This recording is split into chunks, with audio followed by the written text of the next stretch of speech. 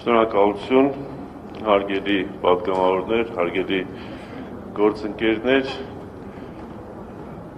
Փորձեմ հնարինս հակիրճ լինել ելույթում եւ փորձեմ նաեւ որոշակի բանաձևումներով ներկայացնել տեսակետը, որը ցանկանում եմ օգտվելով այս առիթից եւ թեմայի հրատապությունից խոսել։ Նախ արձանագրենք, որ մեր պետության պատմության ընթացքում բազմաթիվ այսպես ասած օրասական եւ բացառիկ իրավիճակներ հետ մեկտեղ ներքաղաքական կյանքում ստեղծվել է մի բացառիկ իրավիճակ, որտեղ բացառապես ընդդիմությունը որպես քաղաքական ինստիտուտ ունի այսօր լիարժեք հնարավորություն ակակշռելու եւ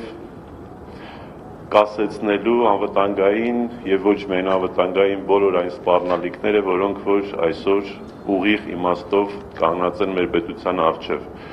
այդ գործընթացին մեզ դեռևս չի հաջողվում մի շատ կարևոր բան հասարակության հնարավորին չափ մեծ մասի ներգրավումը եւ աջակցությունը ուղիղ աջակցությունը ընդդիմադիր երկու խմբակցություններին սա շատ կարևոր եւ կարելի ասել որոշիչ առաքելություն է լինելու մեր պետության գոյության իմաստով եթե աստված մի արածի ընդդիմությանը չհաջողվեց վերացնել կամ կասեցնել երեք հիմնական սպառնալիքներից ամենագլխավորն ու առաջնային, այսինքն ներքին սպառնալիքը, ապա մենք իրավացի ենք, եթե խոսում ենք նաև պետականության կորստի կամ կործանման կամ քայքայման մասին։ Հետևաբար անվտանգային թիվ 1 խնդիրը նաև ներքին սպառնալիքների իմաստով մենք պետք է թիվ 1 օրակարգային պահենք այնքան ժամանակ, քանի դեռ նրա այսպես ասած ուղիղ ազդեցությունը պետության ներքին եւ արտաքին կյանքի վրա դեռևս շարունակում է գոյություն ունենալ։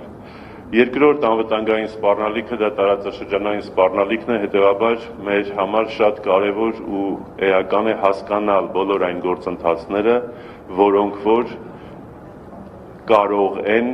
նոր սպառնալիքներ եւ նոր իրավիճակներ ստեղծել մեր պետության համար։ Այս իմաստով պետք է նկատի ունել ոչ միայն ֆիզիկական անվտանգությունը, ոչ միայն ռազմական անվտանգությունը, սկսած բարենային անվտանգությունից, կոմունիկացիոն անվտանգությունից, կրթական անվտանգությունից,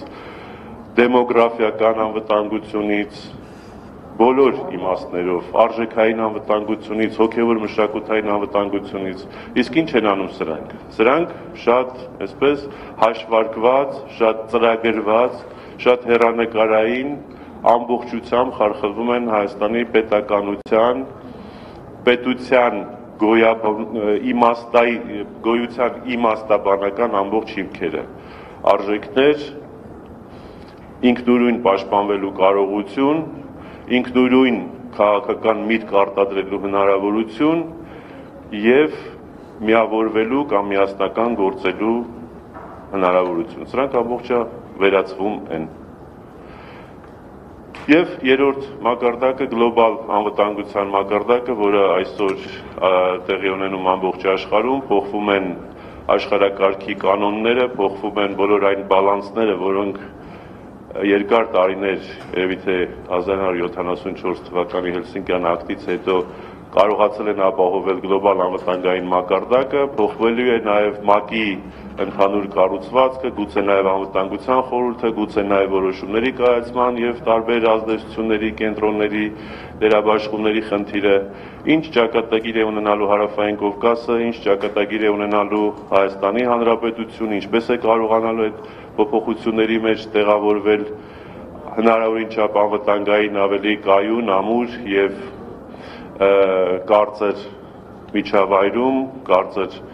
այսպես ասած հովան, հովանու կամ հովանոցի տակ անվտանգային իսկ մեր տիպի պետությունները բոլորն են այսօր այդ խնդրի առջև կանգնած հետեւաբար այս բոլոր խնդիրները պետք է հասկանալ Առաջարկս հետևյալն է, որ երկու խմբակցությունների նախաձեռնությամբ ստեղծվի մի աշխատանքային խումբ, որի բուն նպատակը լինի մշակել Հայաստանի Հանրապետության ազգային անվտանգության նոր ռազմավարություն։ Այնինչ որ սրանք բերել են եւ ապշտապ 2020 թվականին, եթե չեմ սխալվում, ընդունեցին, իբրև թե ընդունեցին, դա այլևս ոչ մի բանի պիտանի չէ, դա այլևս չի արտահայտում Հայաստանի անվտանգային միջավայրի բոլոր առաջնահերթություններն ու խնդիրները եւ կարծում եմ, որ ժամանակ չկորցնելու եւ ամբողջական հասկանալու առնվազն գոնե առաջիկա 10 տարիների համար անվտանգային հնարավոր